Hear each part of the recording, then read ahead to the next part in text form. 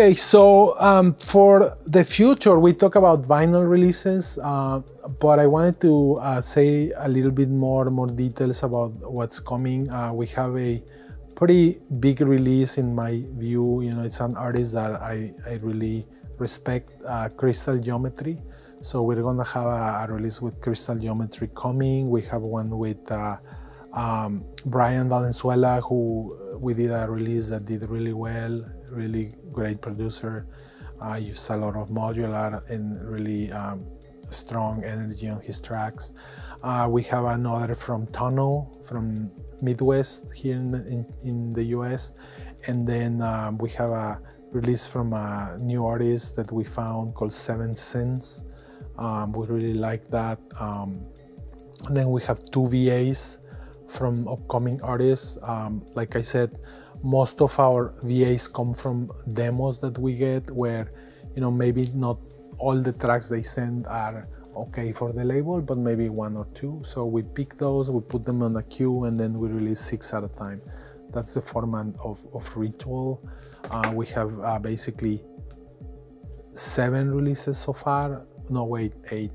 So um, uh, that one is coming as well with a, a, a nice uh, list of artists. Um, and then we have a release from Dualist as well, and uh, I'm working also one record of mine coming. Um, so yeah, we have uh, pretty much the whole year set with releases, and we keep getting demos for, you know, the upcoming VAs uh, for for next year. Um, another thing I wanted to mention, uh, we we're not a you know promoters company or anything but we throw some parties mostly to promote the artists and, and the label right so we're not you know trying to make money or business out of parties uh, but but I like to promote. So we had a few showcases here in LA, um, and then uh, back in maybe six seven years ago, I was doing a party in Detroit during during movement uh, with uh, two partners with Steven and uh, um, uh, Rolando. So Rolando's from Arizona, Steven from Detroit, uh, and then uh, we were throwing those parties at the Works. Um, but the club unfortunately disappeared. Um, they closed it down. It's supposed to be open, but it hasn't been open yet. So that's why we stopped throwing those parties. Um, but this year we were able to uh, secure a venue. So we're throwing a party on May 25th, uh, Saturday uh, during movement. So that's basically for me the biggest news of the year because you know that I think when we start throwing those parties, it really helped the label to the name of it because you know most of the techno heads come to Detroit during May, so then that really helped to you know get the name out there and and you know omen. So we had actually during all these years that we stopped throwing the party, I, I kept getting emails from people. Hey, are you gonna throw the party again? When you know? Uh, you should really do it and stuff, but you know, we just didn't have a venue.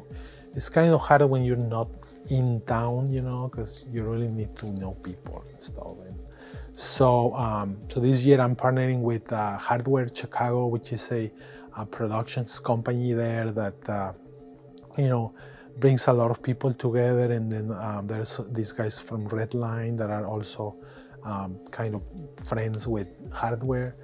Um, um, we're booking one of the Redline guys, um, and then compressor uh, producer from Chicago is, is one of my partners.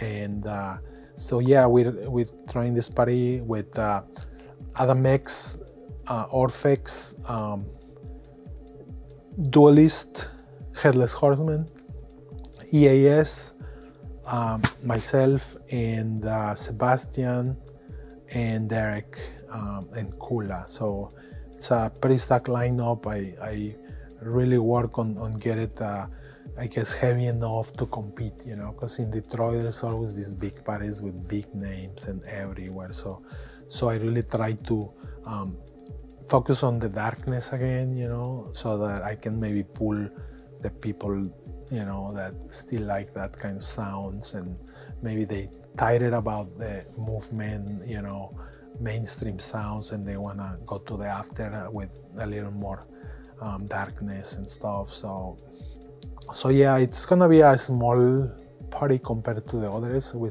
we're expecting between three and 400 people.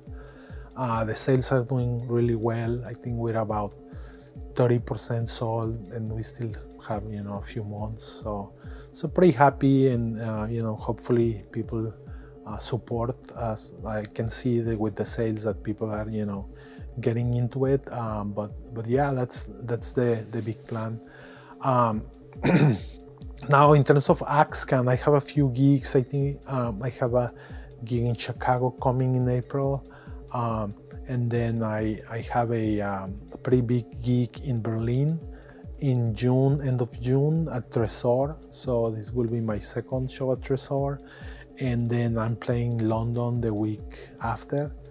Um, so yeah, it's gonna be a little mini tour again. Um, I'm still trying to find another gig possibly during that 10 days that I'll be in Europe. So, um, but for now it's just those two. Um, and then uh, we will be trying to throw something maybe around Halloween uh, with with my friends here from probably um, either Singularity or uh, maybe I talk to uh, my friends from Fallout, which is a little more, uh, you know, BDSM and like industrial EBM. But, but I think if, if we manage to get the right artists, they, they'll be probably interested. Like I, um, last year we brought uh, Crystal Geometry and they really like him because he's more EBM sounds. Um, then we got Jay Garrett for another uh, showcase there. Um, so yeah, those those are like the plans in terms of events uh, for Omen this year.